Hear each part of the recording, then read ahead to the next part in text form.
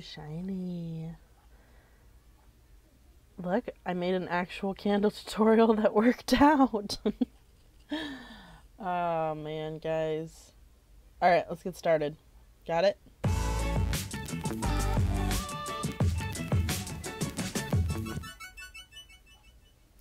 Hey, what's up? We're back. We're back finally. and we've got a new candle tutorial for you. Look how beautiful it is.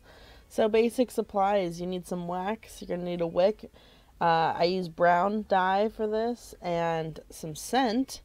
Uh, you're also going to need a container for your candle, something to froth your wax with, and a container to put that frothy wax in. Double boil method here, melting my wax. And uh, these glasses, well, this glass, I got it from the Dollar Tree. Dollar Tree, y'all. Uh, also, I got this milk frother from IKEA. It was two bucks. Two bucks, guys. It works like a charm.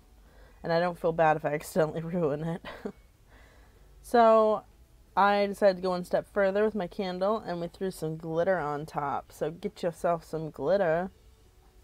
I need to stop talking like that. I'm so white.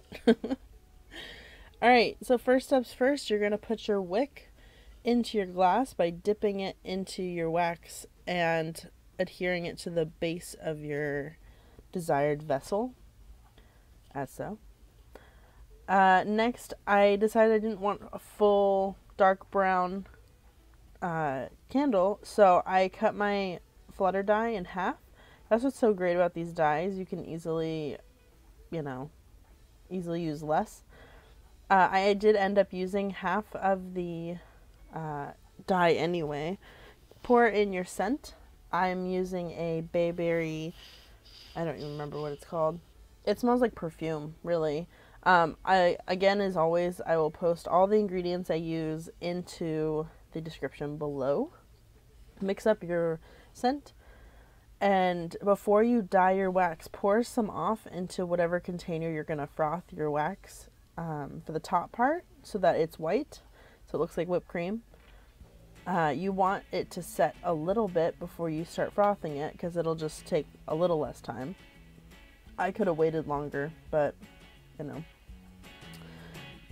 So set it off to the side to let it start hardening just a little bit and then add your dye into your wax and start stirring it. When you're using flutter dye, you want to keep your wax kind of on the heat because it'll melt faster into there.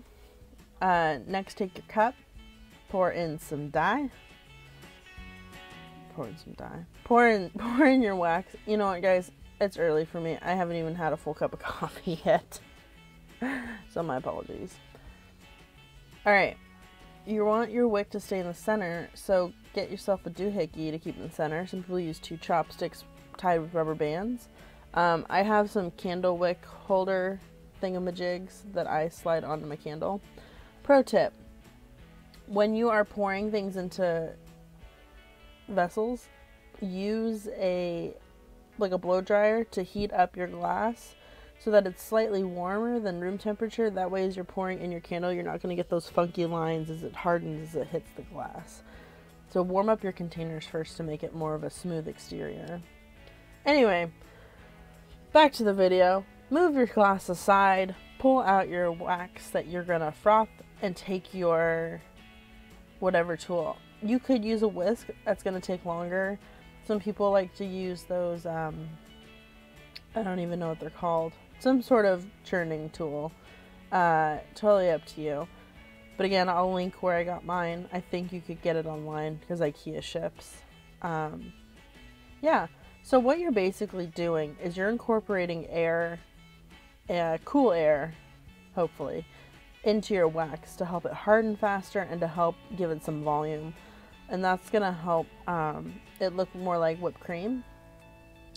Part way into this, I speed it up, but there is a, a, a sort of a consistency you get to where you can put it in a piping bag. I which is pretty cool because then you can do um, different tips like piping tips to make roses or make like a swirl like a cupcake swirl. I have never tried that yet. That will be one of our future tutorials i'm sure. But I first learned how to do this because I've seen it on candles for a while. I first learned how to do this by watching um, a tutorial or a video by Wicked Lee Goods, and I will link her video below because you know you gotta give credit where credit is due. I watched her do it, and um, she's got an awesome accent, so definitely watch her channel. Um, she has tutorials on like soap and candles from what I've seen. I haven't watched a whole bunch of her videos yet because I haven't had a chance to, but definitely check her out. Um, excuse me. So I'm gonna speed it up here because uh, this is su- superbly boring. but you're like literally, this takes forever. Uh, the longer you let it harden before starting, obviously, the faster this will be. I probably should have let it sit for longer, but you know, now we know. But it's okay because it's gonna look cool. Uh, la la la. All right, so here is about where it should be if you want to pipe it. I feel like it's kind of a thick cream. It's starting so as this gets thicker, it starts to slow down my milk frother because it's you know it runs on double A batteries. It's not the most powerful thing. This is about the consistency you want to pipe. I feel uh, I feel is best. Um, so right as it starts to slow down my milk frother, I know it's it's getting there but I want to go a little bit longer because I want it to look kind of chunky, like um, like you've been scooping up, know, homemade whipped cream. So I go a little further and make more of a mess.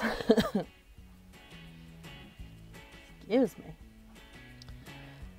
Oh my gosh, so long. It takes so long. So we're getting there. What I forgot to show is that once I was done, it was still a pretty smooth, creamy texture. I kind of took a spoon and moved it around a little bit, and that's how I made it go a little bit more like cottage cheese chunky look, which is what I was looking for for whipped cream. I could you could totally pipe this on. Um, so here here it is more chunky in, in pieces. Now it's still hot and soft enough that once I put it all on there, I can kind of press it together to get it to solidify enough that it's not falling off when I move the candle around. Um, but this is just, it's still pretty hard, or it's pretty warm and soft underneath when I get out the big scoops. Uh, make sure you turn your candle so that you're getting all sides, because, you know, can't just look good from one angle. Keep piling it on until you're satisfied. Make, you know, make sure you leave enough of the wick though so you can light it. Um, one tip that was mentioned in the in the videos I talked about about making candles um, that Wicked Lee Goods mentioned, she leaves a little bit of a like a hole around the wick. I I didn't because I totally forgot her tip. She says if you leave a hole around the wick when you're putting on the the topping part, it will leave a space so that when you melt your candle, it'll fall into that hole, the melted wax will. So anyway, there you have it, guys. Your basic betch candle. I don't know why I have to say it like that. but I wanted to go one step further. Alright? Because, like, this is good, but it's not, like, over the top like basic bitches are. So, next step, get yourself some glitter, girl. Get some glitter.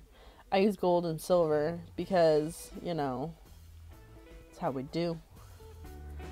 Sprinkle that shit on top. Hell yeah. Sprinkle that shit on top, girl.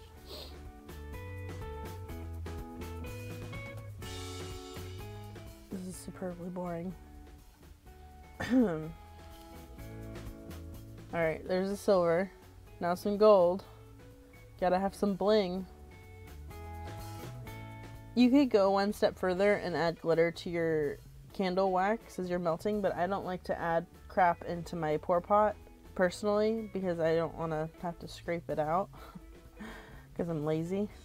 But, so that's why I just put it on top. And I uh, made a huge mess, as always. Always, guys. I didn't spill wax this time. Oh my god, you guys notice that? I didn't spill any wax, just glitter.